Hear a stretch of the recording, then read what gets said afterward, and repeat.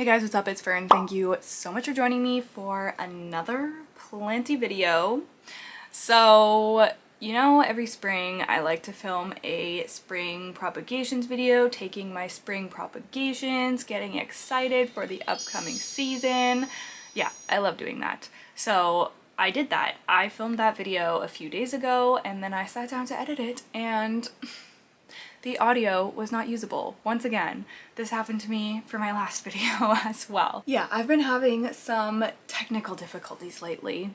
So I am going to be showing you all of the propagations that I took. We're going to be going through them together. I'm going to kind of tell you my plan for the plants that I am propagating and trying to fill out I find this time of year to be the best time to take cuttings because we're close enough to spring that they're gonna do fine, but we're like at the very tippy top of the growing season. So they're gonna get the full amount of time to, you know, root and establish and hopefully start growing for us. Yeah, I usually make a list or at least have a mental list of all of the plants that I'm wanting to chop either to make more full or to start a new plant or something like that. And I like to do it right at the end of winter. Last year I posted this video in January and people were very upset because it's not spring yet in January and it's not spring yet either in February but I've at least waited a little bit longer this year, okay? So nobody can get mad at me. And where I am, spring usually comes pretty early, like things are already trying to sprout here. Although last spring was very cold, so we'll see what this year brings. Anyways, I'm still gonna try to add in the footage of me actually cutting the propagation so you can kind of see that as well. So hopefully this video will still be interesting and you will enjoy it. But yeah, I just cannot let these spring propagations pass by without showing them off to you. I like when we can kind of watch them grow together, you know, because I'll do an update video and then when I repot them I'll do a video etc etc so yes that is the plan for today's video. Also it's a little ironic that i'm filming this like spring vibes video and it's literally so dark and gloomy outside Anyways, I'd first like to thank the sponsor of today's video, which is Native. Now, I have been a dedicated user of Native's deodorants for years now, and I am now a dedicated user of their body washes as well. When I'm looking for a body wash, I want something with clean and simple ingredients, which is why I love Native so much. Their body washes are made with plant-based cleansers, they're phthalate and dye free, and they are of course vegan and cruelty free. Not only that, but they work beautifully, they lather up super well, and a lot of you guys know that I run, so I'm often very sweaty, but Native's body washes always leave me feeling nice and fresh. They don't leave a residue or anything weird like that. Another thing that I love about Native is that they have such a wide range of scents. There really is something for everyone and they're always launching new ones, which is very fun. This one has definitely become one of my favorites. It's sea salt and cedar. If you're like me and you like woodsy scents, I can definitely recommend you this one. It's very fresh smelling, but it does have that like woodsy cedar scent in there as well. Another tried and true is my lavender and rose. I usually use this at night because lavender is just so relaxing. I recently got eucalyptus and mint, which is another fresh kind of scent. Um, I love anything, like any body products with mint. I'm just really drawn to that. I, it feels like, I don't know, it just feels so refreshing. They also have their candy shop collection available right now, which features a variety of candy inspired scents, which sounds amazing. They have gummy bear, sweet cinnamon hearts, strawberry and vanilla taffy, and sour berry belts. Like, are you kidding me? It sounds so good. If you've been wanting to swap out your body care products for a cleaner option, I could not recommend Native more. I love them so much. Three body washes are normally $27, but with the link down below in the description and my code WILDFERN9, you can get them for three of them for $17. So that gets you 40% off. Also with my code WILDFERN9, you can also get 20% off of their deodorants and lotions. I'm so grateful to Native for the continuous support on my channel, so a big thank you to them. Okay, friends, I think that we are going to be embracing the casual vibes for this video, so I hope that's okay with you. We're actually supposed to get some sun for the second half of this week and I'm very excited about that. Um, I plan to do a lot of filming so yeah I just feel like the vibes are so much better and I just have so much energy when it's sunny out and I've actually had some of you comment that um, I can't remember which one of my like last videos that I posted um, someone left a comment along those lines about how my energy just like changes so much when it's sunny and I'm like literally yes like I am solar powered and I live in the freaking dark north up here I feel like I make it sound so bad it is like freaking beautiful and amazing here and I'm like so lucky to live here, but yeah, I could use a little bit more sun for sure. Okay, we're just gonna start with the one that is closest to me. So this is my Hoya Bella variegated. Took my brain a moment to process what plant I was holding.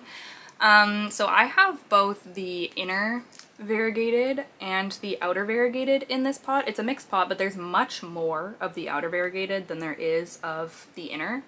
Um, so I actually took cuttings from the bottom of all of the vines, and guess what I found on here? Oh my god, there's literally a mealy on here. You guys, I'm being overtaken by mealy bugs. I don't know if you're gonna be able to see, but there's mealies on there. Where's my crown? Because I am the pest queen. I'm actually kind of wanting to look into, what is it called? Beneficial bugs because, I don't know, I just feel like it's kind of at the point where I should explore that route even though I haven't wanted to. So I am going to do some research on that, but yeah, I'm just finding pests on like so many plants and I can't keep up with it. Anyways, this plant I want to fill out more because you can see that the top is very sparse and even like the tops of the vines are really sparse because this plant struggled so much for a long time. I highly, highly suspect that this had flat mites. Uh, I couldn't see any with the microscope, but maybe I just wasn't seeing them honestly, I don't know. I'm convinced that they're on there because after I did the sulfur treatment, it started growing. So now I'm getting like branching of different vines and things. I mean, the leaves still don't look amazing. Like this plant has never looked amazing for me. And it's quite frustrating because I had such an easy time with the green Hoya Bella, except for it would get spider mites. This is like the one Hoya that I would really struggle with spider mites is like the green version of this. I don't know if I've really had spider mites on this variegated version, but anyways, I just want to fill it out, continue to care for it, and try to like crack the code and figure out how it's going to thrive best. Um, so let me grab the propagations. I will show you here. So like I said, I took one from each vine, but one had like multiple, one of the outer variegated ones had multiple mealies on it, so I just tossed that one. So now I just have three propagations, one inner variegated and two outer variegated, which I think is fine because there's way more outer variegated in that pot anyways. So I'm just propagating in water.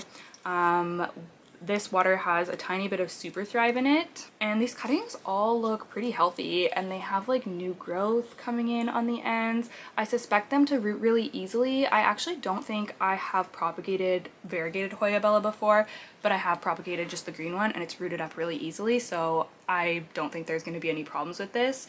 I did remove the lower leaves so there's just like room for just stem to like root and be potted up so I think maybe three or four weeks for these. Probably going to be a similar traje trajectory, that's a word, trajectory to my Hoya linearis, which I am going to show in this video because it did indeed get a haircut, which I'm very excited about.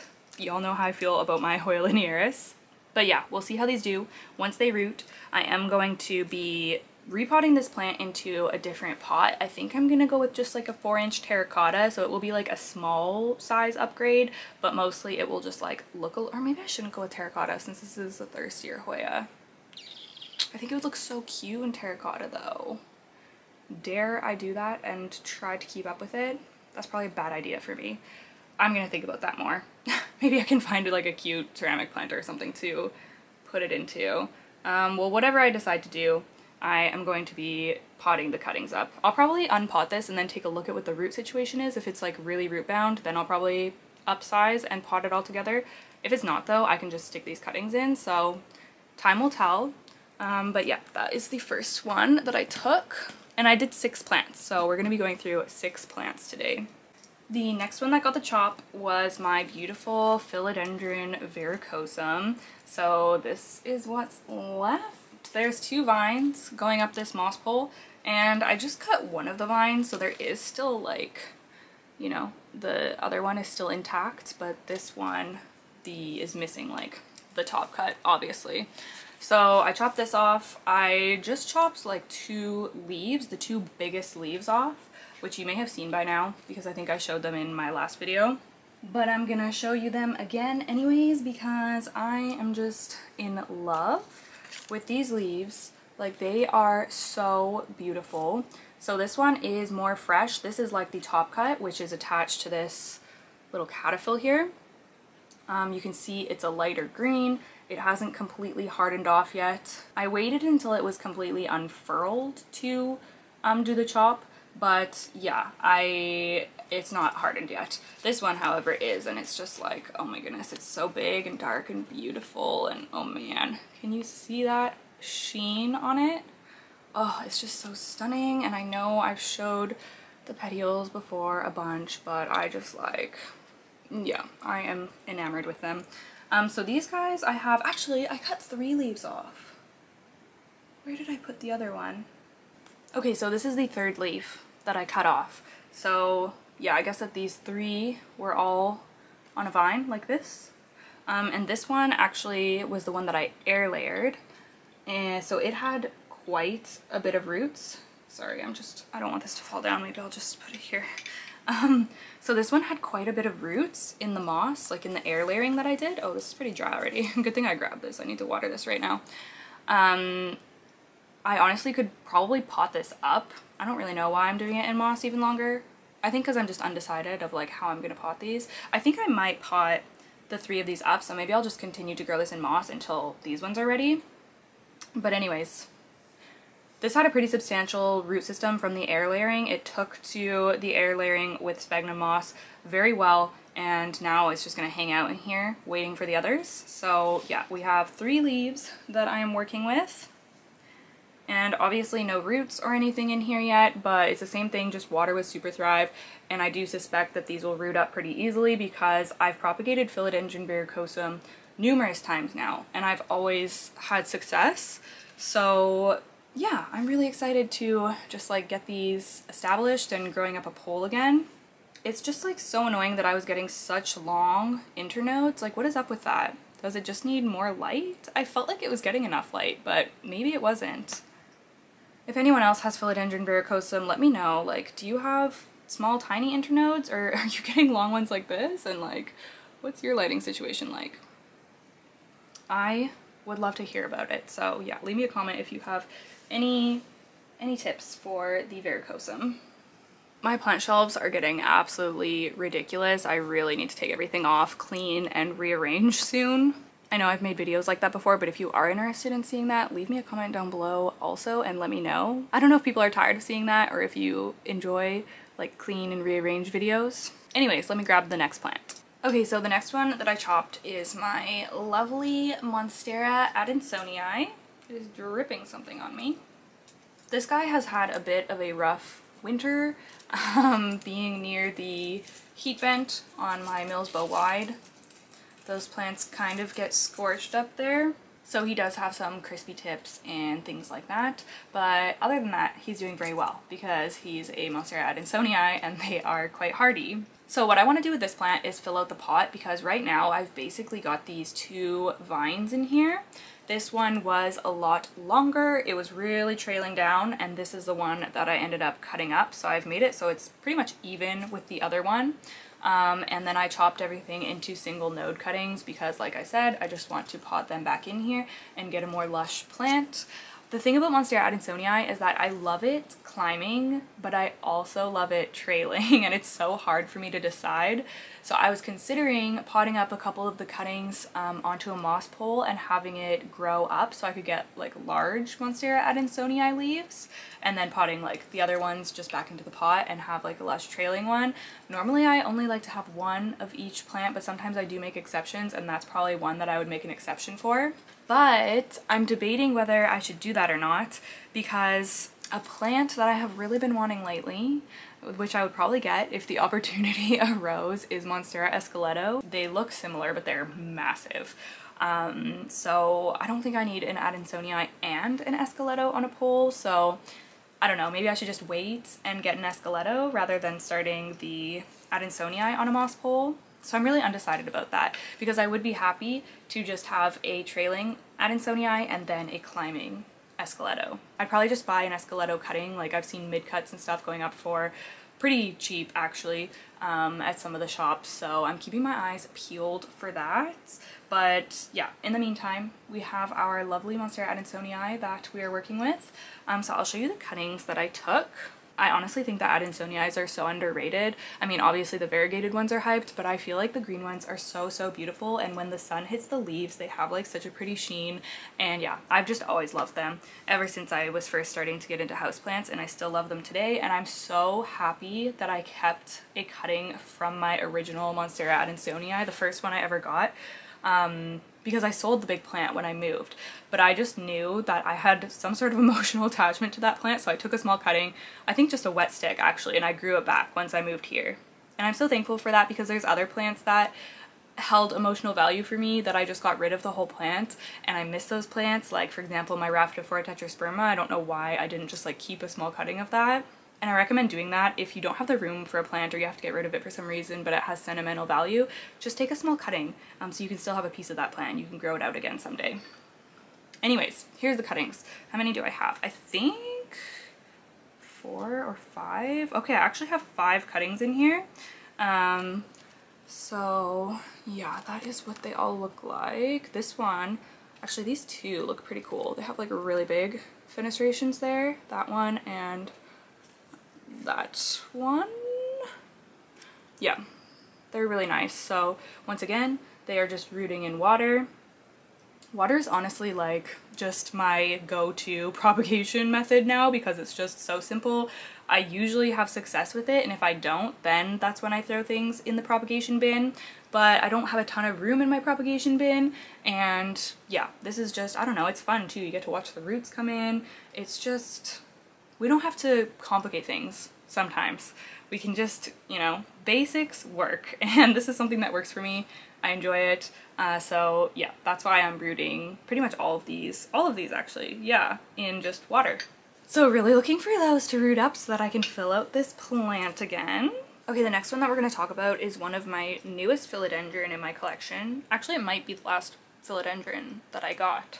Um, and that is my Philodendron sharoniae. This is actually the bottom of it. So I have now the bottom of the plant, a mid cut, and a top cut. So I have three plants of this currently. I decided to just pot this back into the pot. Doesn't have a moss pole or anything anymore because I'm going to be adding that once I pot these back together. But I really want this to be part of the plant when I do start growing on a moss pole because I'm just obsessed with these leaves. Like they're so pretty. Now I really love, obviously I love like the texture or like ripples or you know whatever this is that it has going on. But I also love the sheen and like the color. Uh, it's almost like sparkly like it's very just like it's not a velvet leaf but it just has a really strong sheen to it it's so pretty so even though I have three pieces of this actually I have four pieces because I cut the top into single nodes. This was the very top cutting um, right here. This is a new leaf that unfurled and hardened off like a week or two ago. It is so pretty. It does have some very minor damage on it, just like little dots, I don't know, from EFN or something maybe, but yeah, so just like shiny and beautiful and then this was the leaf just below it. I think that this was the first leaf that I got in my care after it kind of acclimated to my home, so it's pretty small, but that's fine. It already has like a little growth point there as well, so I'm sure that these will root up quickly. I just have them in sphagnum moss in my Milsbo wide cabinet. And then this is the mid-cut, which has four leaves on it, as you can see. So yeah, I've got a lot of like cuttings and plants of this right now. Maybe I'll use one of them for a trade. I have a few trades planned for this spring, so maybe somebody will want one of these. It is such a cool philodendron, and I really, really want to size it up. Once everything's rooted, I'm probably going to put three vines into a pot with a moss pole, and I think I'm going to do... I'll probably do a thickly style pole for now, because it's not really big or anything yet, so I can probably get away with that. But yeah, I'm just so excited that this had reached the top of its like temporary moss pole, which is why I went ahead and chopped it. I've just been waiting for that to happen. So now I just have to wait until these root up, which I assume will be pretty quick because it's going to be living in the cabinet, like I said. So humidity is higher in there. It should be very happy. And also the root system looked really good on this. I actually did a whole video just dedicated to repotting my Philodendron sharoniae after I got it. And I was a little, not concerned about the roots, but it was just like a really thin root system and I hate like thin, oh, my phone's ringing. I hate thin philodendron roots. It just like kind of stresses me out. Hello? Huh? Yeah? Yeah, they definitely have a little bit more of a delicate root system as far as philodendron go, but it looked really healthy, so I was really thankful for that. So now it's just a waiting game. Waiting for, I guess, just these ones, really, to root up, because the mid-cut actually had roots that went down into the main pot, and it had like a full root system already, which is why it's in potting mix. Okay, so lastly, I do have two Hoya to talk about, and the first one is obviously my Hoya linearis. I am such a big fan of this Hoya. It's definitely in like my top three Hoya of all time, and I've been working the past like year and a half to really make a more full pot, so every spring I'm just going to continue to do my chop and prop, and it honestly, when once spring is approaching, this is long enough that it needs a chop because it starts getting too close to my floor. So yeah, this was quite long before I chopped it and I ended up just taking cuttings from uh, these main vines, I think, and then those ones still have fresh little growth at the end. But I chopped the plant so it's all like approximately the same length, so I think that it looks really nice. Um, yeah, I'm always showing you guys all the vines that are growing on this because there's quite a few now. And yeah, I'm just so happy with this plant. It's so soft and fuzzy. If you have never had a linearis, like, yeah, let me tell you, they're just like the softest nicest plants. Also, I was posting a video of this plant on my Instagram story the other day, and I've shown my linearis so many times, right? Like, I've had this plant for years, so maybe it's just now that it's getting, like, more dense, but I had three separate people respond to the story and say that it looked like rosemary. And I thought that that was hilarious because I've never thought of that before, and I've never had anybody say that before, and then just randomly on that specific story, like, three people said that, so yeah, I guess it kind of does look like rosemary. Honestly, I love rosemary, so I'm down. So these are the cuttings that I took. There's quite a few in here actually um, because there was, you know, several vines and then some of them were branching off. So I cut the branching part off to root as a separate vine as well. So yeah, this is going to fill out the pot quite a bit once I can, you know, pot these back in. And I think that my plan is going to be to upsize this pot. I would actually like to shop around and find like a cuter hanging planter for this plant because yeah, I just love it so much. It deserves something cuter um, than this. This is like a mismatched nursery pot hanger situation that I just like jimmied together. But um, yeah, I have several cuttings in here that are rooting in water. These typically root really quickly for me. Um, I've obviously cut this up a lot in the past. You actually don't even need to really water propagate these, like you can just pop them right back into the pot, which is probably what I would have done if this pot wasn't so full already but it is, so I'm probably to have to increase the pot size when these are ready to go. But yeah, I'm just to keep my eye out for any roots. I actually have this rooting on my windowsill, so it's getting a lot of light and everything. I love just seeing like the baby leaves on the ends. But yeah, this is probably the one that I'm most excited about just because I'm always so excited to chop and prop my Hoya linearis. Alright, the next plant is another Hoya. It is my Hoya Mathilde and I've really been wanting to propagate this one um, for the reason that it's just like this used to be on a trellis so it kind of was in a really wonky shape to become a trailing plant um, but I like the way that it looks trailing so I'm trying to chop and prop so that I can fill this out. You can see it's pretty sparse at the top and then it gets like really dense down here. There's a lot of vines and everything I guess just because it branched out so much and the way it was like wrapped around the trellis.